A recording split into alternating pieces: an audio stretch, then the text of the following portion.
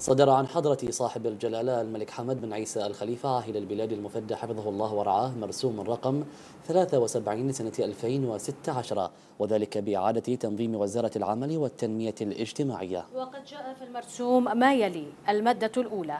يعاد تنظيم وزارة العمل والتنمية الاجتماعية على النحو الآتي.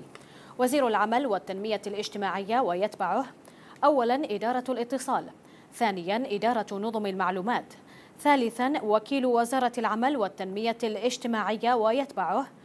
واحد إدارة الموارد البشرية. اثنان إدارة الموارد المالية ثلاثة إدارة شؤون المعاهد المهنية. أربعة الوكيل المساعد لشؤون العمل ويتبعه. ألف إدارة التوظيف. باء إدارة العلاقات العمالية.